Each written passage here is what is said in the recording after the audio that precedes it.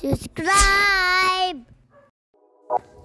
So yun guys no, again what's up? Welcome back to my YouTube channel, ang Kalbong Ibon TV.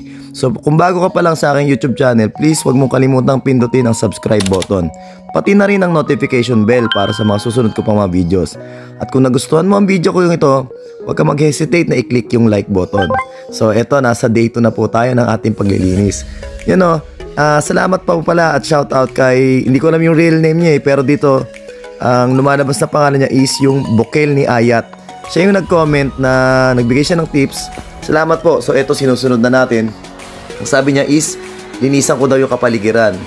Uh, tanggalin ko yung mga bato, ilagay ko sa isang sulok. So, yun o. Kung nakikita niyo, sinusot ko yung ibang, ano doon, mga to yung halaman o tangkay, sanga. Doon sa aking, ano yun eh, sunugan kasi yan para pag nagpapausok ng puno ng mangga. Yan. So, ito pa, no. Ako mapapansin nyo, meron akong mga tinatanggal na parang vine trees. Ito yung mga gumagapang na halaman. Ito yung pinagtataka ko eh kasi ano siya, oops, teka na, ayan, naputol pa tuloy yung atis oh. Yan, puno yung atis. Sabali may paggagamitan ako niyan. May pinaplano ako. Ayan oh. Ah, mga ganito, yung mga ligaw na damo, mga ganitong, yung mga wala namang pakinabang is nabubuhay. Ayun, oh, gumagapang sila rito. Kaya nagkaroon ako ng idea.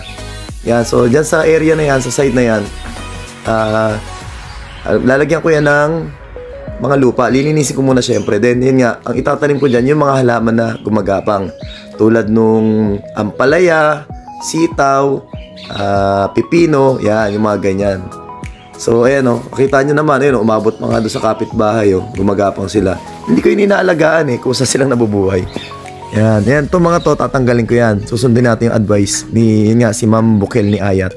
Nag-comment siya eh.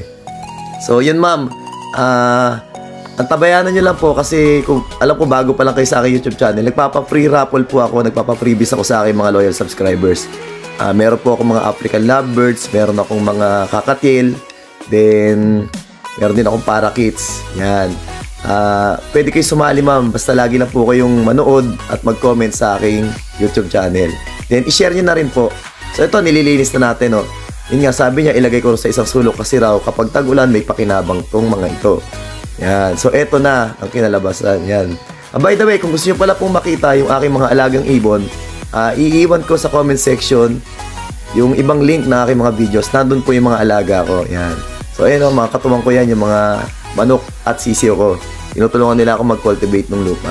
So, eto, na, nakapag-set up na pala tayo. Ayun yung naputol kong puno. Then, ayun o, kung mapapansin nyo, nandun yung mga lupa. Tsaka yung ginawa kong compost pit. Kaso, medyo maliit lang.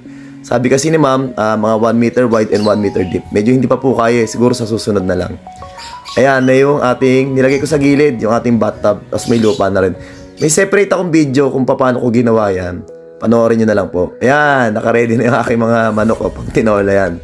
So again, oh, marami po salamat and please, kung meron pa po kayong ibang ideas at suggestion, paki-comment down kasi nga, inahanap natin o inaaral ko rin at para ma-share ko sa iba kung ano yung problema ng lupa dito sa backyard. Bakit nga ganun? Ito na yung mga sanga, oh. Inalo ko na muna sa isang sulok. Yan. So, thanks for watching guys. Maraming maraming salamat po. God bless.